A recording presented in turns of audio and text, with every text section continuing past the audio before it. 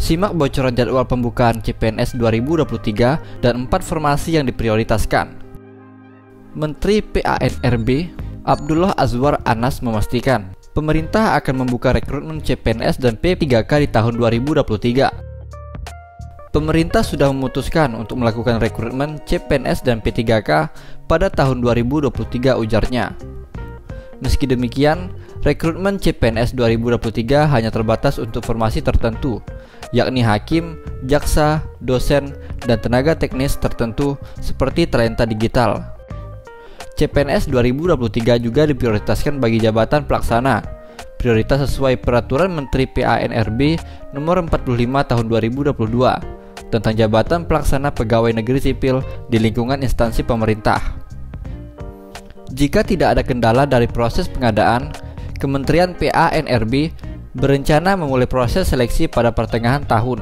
Sebagaimana pelaksanaan pembukaan seleksi CPNS pada tahun 2021 yang digelar pada Juni. Mudah-mudahan Semoga bisa dilakukan dengan baik, ujar Kepala Biro Data, Komunikasi dan Informasi Publik Kementerian PANRB Muhammad Aferos. Pada seleksi CPNS 2023 terdapat empat formasi jalur khusus yang diprioritaskan. Berikut empat formasi yang diprioritaskan di seleksi CPNS 2023. 1. Formasi CPNS untuk lulusan terbaik atau cum laude. Kandidat yang telah menyelesaikan pendidikan dan memperoleh gelar lulusan terbaik, maka diperbolehkan mengikuti pendaftaran jalur khusus. 2. Formasi disabilitas. Bagi Anda yang memiliki keterbatasan atau kebutuhan khusus, tidak perlu khawatir. Pasalnya, seleksi CPNS 2023 ini terbuka bagi penyandang disabilitas. 3. Formasi pengembangan diaspora.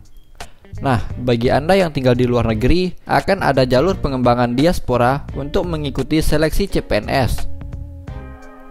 4. Formasi pendidikan untuk putra, putri, dan pemuda Papua Barat. Formasi terakhir, jalur khusus ini diperuntukkan bagi putra-putri dan pemuda Papua Barat yang ingin menjadi ASN.